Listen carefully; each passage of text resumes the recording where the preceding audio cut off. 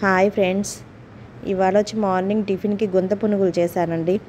మా పిల్లలు రోజు దోశ ఇడ్లీ అయినా అని అంటున్నారు. అందుకే ఇవాళ కొంచెం వెరైటీగా గుంత పునుగులు చేయమన్నారు. చేశానండి. మార్నింగ్ చాలా హర్రీ బర్రీగా ఉంటాం కదండి పిల్లలు స్కూల్కి పంపించుకోవడానికి. అయినా వాళ్ళ కోసం చేయక తప్పదండి. ఎంత హర్రీ అయినా పిల్లల కోసం అంటే టైం స్పెండ్ చేయాల్సిందే.